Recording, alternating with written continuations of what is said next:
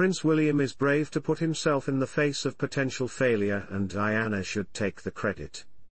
Prince William wasn't afraid to take on big issues in his Homewards project, something that would have made his mother Princess Diana very proud. Hello viewers, welcome to Royal Unlock. Please make sure to subscribe and hit the notifications bell, so you don't miss any updates about the British monarchy. Prince William has made great strides in highlighting the issue of homelessness in the UK with the launch of his innovative programme, Homewards. This locally led initiative, which has been two years in the making and is scheduled to span five years, aims to demonstrate that a unified approach can help alleviate homelessness, ensuring it becomes rare, brief and infrequent. The Prince of Wales has long championed issues surrounding mental health and environmental conservation. However, his support for homeless charities stems from childhood experiences when his mother, Diana, Princess of Wales, would take him and his brother to visit those being helped by outfits like Centrepoint. June 26 marked the first anniversary of Homewards, and one senior royal commentator said the project could have set Prince William up for failure, a challenge that governments around the world have yet to tackle. Famed former BBC royal correspondent Jenny Bond said, It is a hugely ambitious project, showing that it is possible to end homelessness, something no government has ever come close to doing.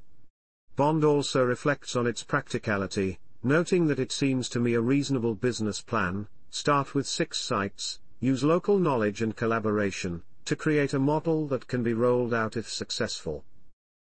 Jenny praised Prince William's modern approach to societal issues, despite the pressures of Kate's illness.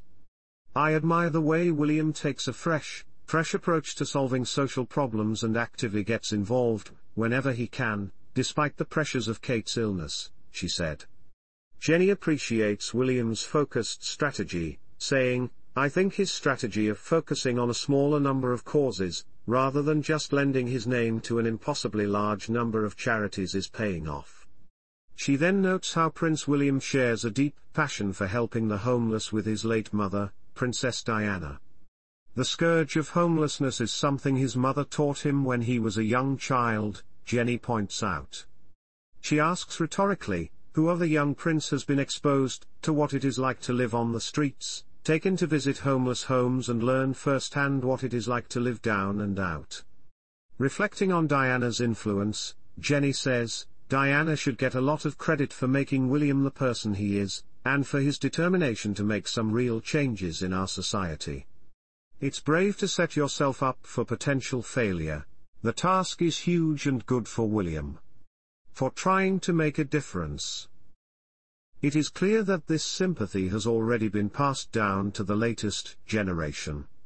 As stated in an interview with the Sunday Times, Prince William plans to expose his children to the reality of homelessness, and wants them to realize that some of us need a helping hand. He shared, when I left this morning, one of the things I was thinking about was when would be a good time to bring George or Charlotte or Louis into a homeless organization. I think when I can balance that with their education, they will definitely be exposed to it. At school, we talk about what we see.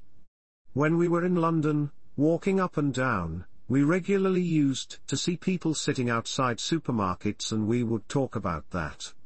He continued, I tell the children, why are they there? What is happening? I think this is in the interest of all of us.